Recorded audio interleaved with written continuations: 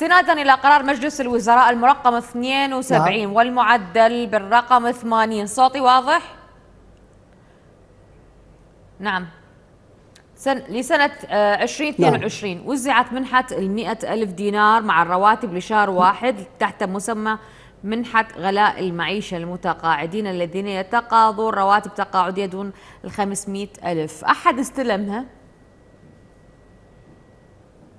وإذا استلمها إيش قد العدد؟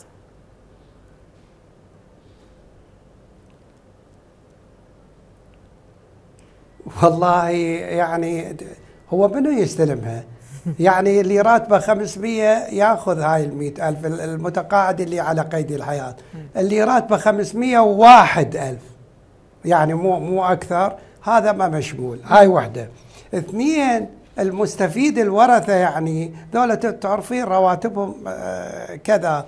هذا شنطي ينطي للضباره يعني قد تكون عدد المستفد المستفيدين أو الورثة عددهم أربعة. هو ما ينطيهم هذه هذه ينطيهم. لا ينطي للضباره إذا كان عددهم مثلا خمسة المية تتوزع على على خمسة يعني كل واحد عشرين ألف. يعني يعني هي هذه هاي خجولة هاي خجولة. ولذلك أنا طلعت بعدة قنوات وقلت لهم قلت لهم هذه هذه إهانة للمتقاعد. حقيقة اليوم تقولون من مليون وجوه على اعتبار هاي مشمولين. تجي ورا أسبوع يطلع الناطق باسم مجلس الوزراء يقول لا لا صارت من 500 وجوه ويعني العدد العدد عدد اللي هذا عدد قليل, قليل. ترى يعني اللي استفادوا منها.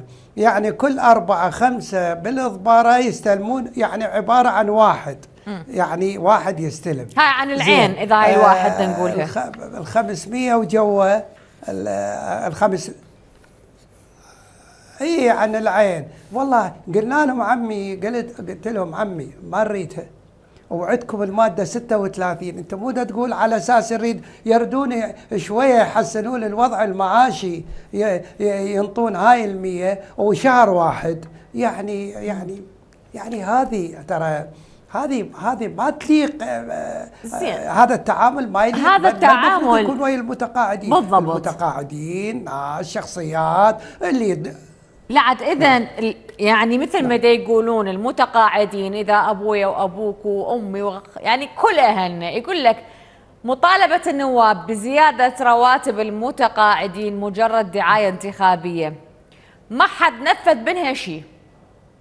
جنابك التقيت بالنواب قسم التقوا بمجلس الوزراء قسم التقوا بهيئة التقاعد لكن دون جدوى.